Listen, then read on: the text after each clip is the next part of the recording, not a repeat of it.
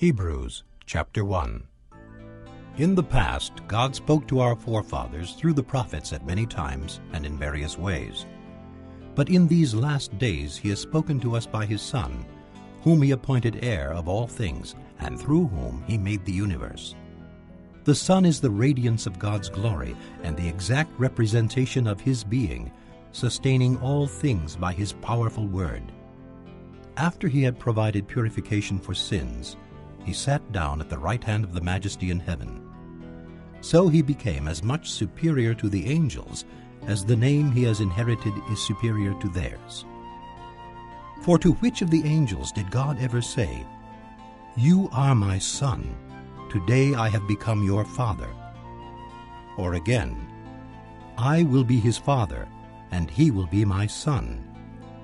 And again, when God brings his firstborn into the world, he says, Let all God's angels worship him. In speaking of the angels, he says, He makes his angels winds, his servants flames of fire.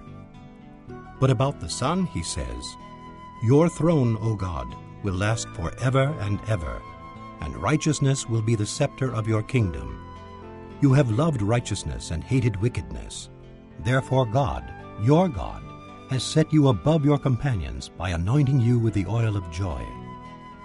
He also says, In the beginning, O Lord, you laid the foundations of the earth, and the heavens are the work of your hands. They will perish, but you remain. They will all wear out like a garment.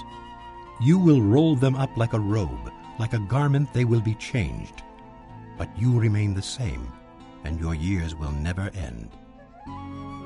To which of the angels did God ever say, Sit at my right hand until I make your enemies a footstool for your feet?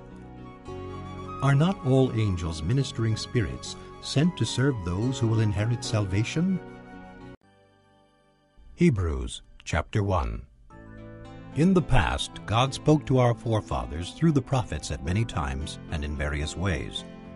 But in these last days he has spoken to us by his Son, whom he appointed heir of all things, and through whom he made the